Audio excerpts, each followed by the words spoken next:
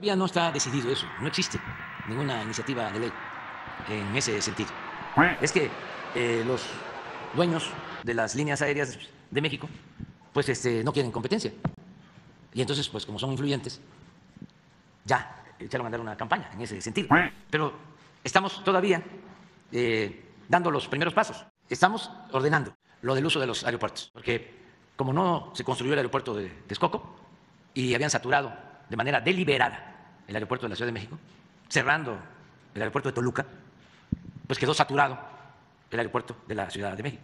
Se construye el aeropuerto Felipe Ángeles y como están molestos porque no pudieron hacer su tranza con el aeropuerto fallido de Texcoco, pues han echado a andar toda una campaña en contra del aeropuerto Felipe Ángeles. Y el aeropuerto de la ciudad movió el año pasado 200 mil toneladas.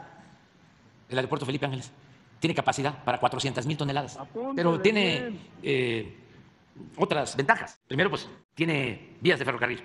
Otra cosa que es importante es eh, resolver los problemas de congestionamiento vial. Ángeles, el aeropuerto Felipe Ángeles, permite eh, orientar el crecimiento poblacional del Valle de México hacia el norte, hacia Hidalgo. Entonces, lo de liberar la llegada de vuelos extranjeros para que haya más competencia, lo estamos analizando. Antes de eso, se va a crear la nueva línea mexicana de aviación. Y eh, si vemos que con eso equilibramos para que no cueste tanto el boleto de avión, si se equilibra, entonces a lo mejor ya no haría falta este, abrir para que haya competencia y bajen los precios. Yo ya espero que empiece a volar de nuevo mexicana. ¿Cómo para qué mes, presidente? Y, este, y tenemos tiempo para resolver sobre lo otro.